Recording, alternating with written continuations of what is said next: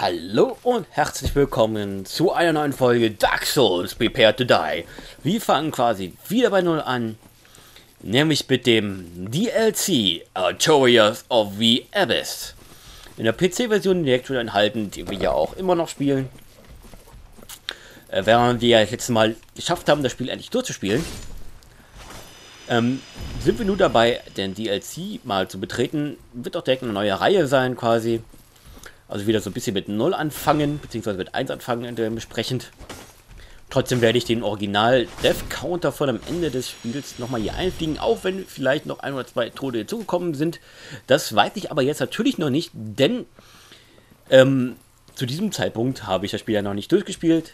Wie ihr wisst, äh, müsst, äh, müsste ich dann nochmal einiges von vorne machen. Deswegen mache ich das natürlich, bevor ich das Spiel durchgespielt habe. Aber naja, wie gesagt, für euch wird es erst nach dem äh, letzten Kampf sein. So, ja, was müsst ihr eigentlich tun, um das Gebiet zu erreichen? Also zum einen müsst ihr die Hydra hier bekämpfen und da vorne in der Höhle ähm, den goldenen Golem besiegen, um das zu befreien. Aber wie das genau alles aussieht, würde ich sagen, schauen wir uns jetzt mal direkt im Schnelldurchlauf nochmal an. So, wir starten quasi schon geschwind am Ende des Kampfes mit der Hydra. Ähm, das ist so ein bisschen der erste Schritt. Man muss sie zwar nicht töten, aber dementsprechend, wo wir nachher kämpfen, wird uns das schon ein bisschen helfen. Danach geht es eigentlich hier ähm, den Weg entlang. Muss man aufpassen, dass man nicht in das Loch reinfällt. Das könnte einem nämlich sonst ähm, ziemlich schnell wehtun. Wenn man da runterfällt, dann ist man einfach mal so tot, weil schwimmen kann er halt nicht. Müsst ihr euch vorstellen, trägt eine schwere Rüstung, dann damit schwimmen. Äh, ist nicht so toll. Ähm, dann kommen wir hinten in der Höhle. Wir sehen im Moment, da ist noch gar nichts. Das passiert ja schon mal öfters in dem Spiel, dass ein paar Leute nicht gezögert werden, dann einfach ausmachen, neu starten und dann sollte der entsprechende Gegner oder die entsprechende Leichte oder was auch immer schon da sein. Und dann ist der lustige goldene Golem auch schon da, den wir dann einfach gehörig so ein bisschen vermöbeln. Sollte ja zu diesem Zeitpunkt eigentlich schon kein Problem mehr sein. Man muss ja nicht so früh reingehen. Kann man auch so ein bisschen auf später ähm, ähm, verlegen. Ist auch nicht so schwer. Man sollte eigentlich nur mal ein bisschen in den Rücken bleiben und auf seine Stachelangriffe aufpassen, die aber nicht so schlimm sind wie die von den blauen, denn sie haben nur so einen kleinen ähm, Kreis vor den Golem hinaus, wie wir es gerade sehen was er auch ziemlich häufig macht. Und wenn er getötet ist, sehen wir da Olasil, mit dem wir auch reden sollten. Quatsch, nicht Olasil, das von Olasil. Olasil ist der Ort. Und auch ihre Stimme hört sich im Zeitraffer ziemlich interessant an. Sobald wir mit ihr geredet haben, können wir sie auch an dem Ort, wo die Hydra war, auch ähm, rufen, über ein Rufsymbol und ein paar Sachen von ihr kaufen.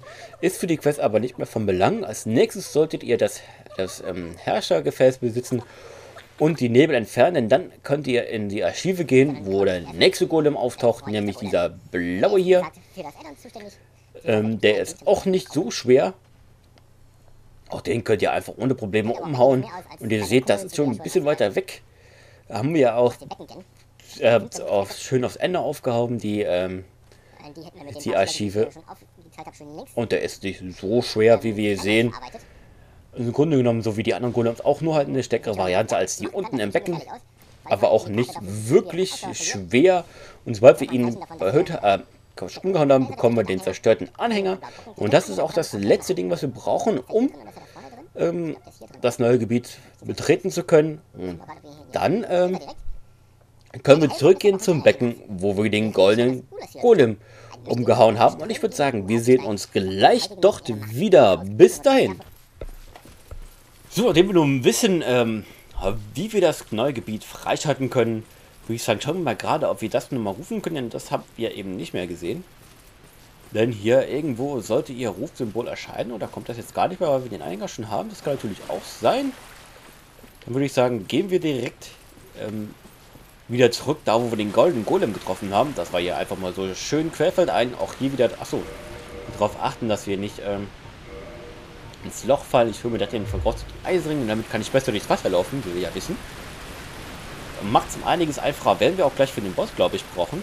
Ups, jetzt habe ich schon zu viel beraten. Natürlich erwarten wir uns gleich direkt einen Boss. Wie soll das anders sein für das Gebiet als der Schach mit einem Boss und einem, der auch ein bisschen garstig ist. aber auch ein bisschen zeigen, was uns denn so alles im neuen Gebiet erwartet. Und das ist, meine Freunde, nicht unbedingt so schön. Ja, wir sehen schon bei Weitem, da ist plötzlich so ein komisches Portal aufgetaucht. Und ich würde sagen, da laufen wir direkt mal drauf zu. Gebe ich zu, man muss wissen, äh, wie man das Freischalten, um das neue Gebiet überhaupt erst zu betreten. Ist ein bisschen komisch, aber generell für Dark Souls erklärt wird ja nichts, muss man das irgendwie selber rausfinden. Und da hilft auch natürlich die Wiki ganz schön, auf die ich immer wieder gerne verweise und auch in, unter jedem Video quasi nochmal verlinkt ist. Deswegen ähm, schaut immer mal gerne rein, es hilft ungemein.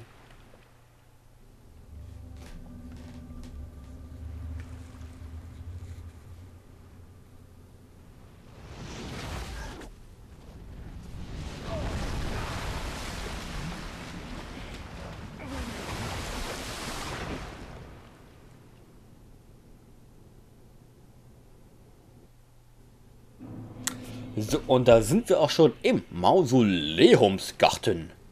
Das entfachen wir direkt und ich würde sagen, ich mache direkt mal dreimal Menschlichkeit, hau ich mich im Reis. Denn das ist mir wert, dass ich hier, ähm, falls ich sterbe, 20 habe. Ich habe ja jetzt genug Menschlichkeit mit 50.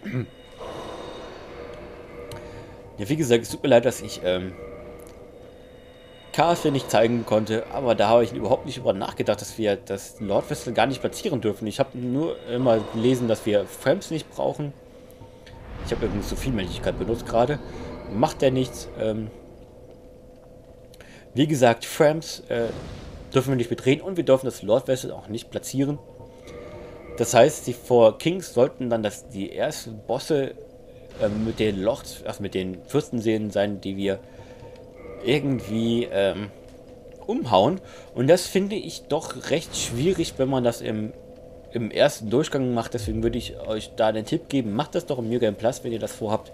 Und dann könnt ihr dem äh, und auch, ähm, auch ohne Probleme beitreten.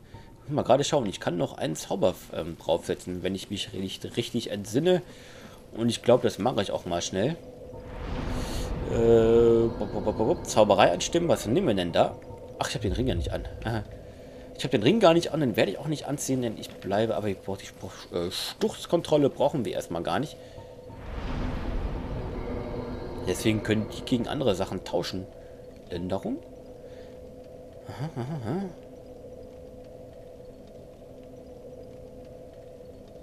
Okay, ich werde das mal hier benutzen. Ich weiß nicht, ob das gut ist oder nicht. Äh, keine Ahnung, den habe ich glaube ich noch nie benutzt, aber vielleicht können wir uns damit auch heilen. Das wäre natürlich super. Denn hier erwartet uns schon die Hölle, meine Freunde. Ich sag's euch, ich mag den Boss nicht. Da ist er auch schon. Der Mausoleumswächter. Eine Manticore quasi. Und wie eine Manticore kann die auch alles, was eine Manticore kann. Das heißt, Giftschwanz, Blitz, Und das, wie wir wissen, im Wasser ist natürlich super. Nämlich absolut überhaupt nicht gut. Jetzt hört er nicht auf. Ah, und da haut er uns um. Machst du mal was anderes? Hallo? Aha. Er kommt wieder uns zu. Ja, er ist ziemlich schnell mit fix mit seinem Movement. Deswegen, und wir können ihn auch nur wirklich einmal richtig treffen. Und ich hoffe wirklich, das ist das Schlimmste von ihm. Aber mit äh, genug Ausdauer sollte es eigentlich kein Problem sein. Und ich schlage immer zweimal zu. Oh. Wie gesagt, das ist etwas, was ich überhaupt nicht verstehe, warum ich immer zweimal zuschlage. Immer sehr fies. So, das machen wir einfach mal zu Ende, weil dann können wir ihn ohne Probleme hauen. Das ist noch ein bisschen gefährlicher. Macht er seinen Windsturz mit seinen Flügelchen. Und dann macht er eben direkt nochmal. Auch das kann uns aus den Latschen hauen. So, er macht wieder seinen Wind. Beziehungsweise genau das ist nämlich das Gefährliche daran. Er macht danach so gut wie immer... Äh... Ah, verdammt. Wie gesagt, äh, die Wächter hier, die Bosse sind alle recht schnell. Das ist das Problem bei ihnen. Oh, ich sollte nicht ausweichen, sondern schlagen und wir sind direkt vergiftet. Das ist nicht gut, meine Freunde. Das ist absolut gar nicht gut. Ich sage ja, ich hasse, mag diesen Boss nicht so gerne. Aber sie zeigen uns quasi ganz schön, was uns, was auf uns zukommt. Nämlich Bosse, die verdammt schnell sind und die verdammt viel Movement haben und viel Movement-Kontrolle brauchen. Wenn ihr seht, wie schwer es für mich ist, ihn anzugreifen. So, da ist immer noch am einfachsten, wenn er nicht gleich wegspringt. So wie jetzt und wir sind wieder... Oh nein, das hätte ins Auge gehen können. Vor allem, weil wir hier immer noch vergiftet sind. Deswegen äh, schnell trinken, auch wenn er uns trifft. Das muss mir jetzt erstmal egal sein.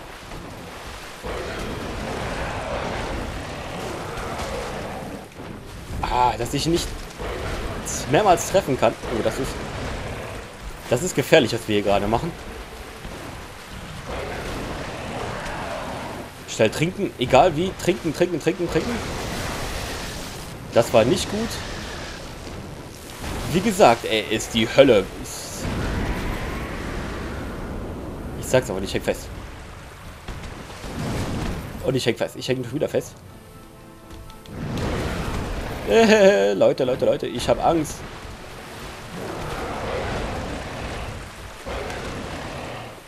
Schnell eine trinken. Und das ist mir noch egal, solange ich mein Schild oben habe. Kann er mir damit gar nichts. Ich habe ihn noch getroffen. Gott sei Dank. Schnell wieder eine trinken. Auch das gefährlich. Alles gefährlich, was er macht. Ihr merkt schon, wie angespannt ich bin. So, was machst du jetzt? Ah, macht das selber nochmal. Aber wir haben besiegt. Wir haben besiegt beim ersten Try. Wunderbar, das freut mich doch ungemein, dass wir besiegt haben. Und wir bekommen die Wächerseele. Wir hätten auch seinen Schwanz abpacken können. Aber, ähm, ja, darauf lege ich nicht unbedingt ähm, Wert an, zumindest jetzt nicht im ersten Teil. Ähm, ja, ich kann euch aber mit den Waffen, die ich schon habe, mal ein ähm, Video zeigen. Beziehungsweise ähm, mit den Waffen, die ich mit meinem Main-Char habe, der ist ungefähr derselbe Level. Aber äh, natürlich schon im New Game Plus, weil da habe ich ein bisschen anders gespielt als hier natürlich. Nicht so auf Sicherheit, sondern auch ruhig ein bisschen äh, gewagter. Naja, das kennt man ja. Auch hier werde ich äh, direkt mal entfachen. Auch das ist ein, würde ich mal sagen, wichtiger, wichtiges Leuchtfeuer, zumindest für mich. Denn auch hier kommt nachher wieder ein Boss. Ja, ihr merkt schon, Bosse gibt es hier eine Menge. Ich glaube, vier Stück sind es insgesamt, die wir hier erwarten. Trotzdem ist das Add-on nicht allzu lange. Also man kommt da schon ganz gut durch. Aber wie gesagt, ich packe hier schon mal die Evelyn. Nein, die packe ich nicht hier rein. Die packe ich hier rein, packe ich die Evelyn. Die werde ich nämlich jetzt nachher brauchen. So, und wir entfachen noch mal ein bisschen. Können ja auch wieder wegteleportieren. Das ist also alles kein Problem. Also wegkommen wir eigentlich wieder ganz gut. Und auch hier entfache ich mal. So, zack. Entfacht. Jetzt haben wir auch wieder 20 äh, Flakons. Das sollte mir für das Gebiet eigentlich auch reichen. Und da ist ein Pilz. Ein Pilz und er sieht freudig aus. Kommt direkt aus dem Baum raus. Ich rede mal mit ihr. Well, look at this one. From what faraway age hast thou come? Thy scent is very human indeed, but not intolerable. Ah, Princess Dusk's savior. Thine aura is precisely as she described. I thank thee deeply for rescuing Her Highness, but Princess Dusk is here no longer, snatched away by that horrifying primeval human. And so I must ask, Couldst thou once more play the Savior? Jo, natürlich machen wir das. You. I am Elizabeth, guardian of this sanctuary. Something of a godmother to Princess Dusk. I shall assist thee to my utmost, for I am one with the sorceries of Urasil. ja, an die Godmother. Also ein bisschen, äh, fühlt sich so ein bisschen auf ein Gott hier. Thou shalt see further on. An abyss was begat of the ancient beast, and threatens to swallow the whole of Ulasil. Knight Artorius came to stop this. But such a hero has nary a murmur of dark. Without doubt he will be swallowed by the abyss, overcome by its utter blackness. Indeed, the abyss may be unstoppable. Still, I have faith that Princess Dusk may be rescued yet. Ja, Artorias erwartet uns. Von dem haben wir ja schon viel gehört, aber getroffen sind wir noch nie. Haben, sind wir eben quasi ja noch nie. Hier können wir quasi einen Zauberstab kaufen. Finde ich aber nicht so toll, deswegen lasse ich es. Aber jede Menge andere Zauber, die aber alle so ein bisschen auf. Ähm, außer der ist noch ganz nett. So ein bisschen auf PvP ausgelegt sind. Deswegen kann man sie eigentlich auch lassen. Ihr könnt zum Beispiel unsere Waffe ähm, unsichtbar machen und solche Sachen. Die brauchen wir aber nicht wirklich, deswegen lasse ich sie auch mal sein. Jo, danke, bei PvP ähm, bin ich nicht so gut drin, deswegen lasse ich es auch mal gerne sein. So, ich würde sagen, wir schauen nochmal gerade, ob wir nicht ähm, unseren Schild mal endlich auf plus 5 bringen. Ja, wunderbar. Wie viel habe ich jetzt noch? Kann ich noch ein bisschen was meine Rüstung verstärken? Nee, ich habe gar keine mehr. Okay, das ist schade. Dann reparieren wir doch unsere Ausrüstung. Finzertöter, hier, komm. Kostet ja nicht so viel. Oh, unsere Lade war kaputt.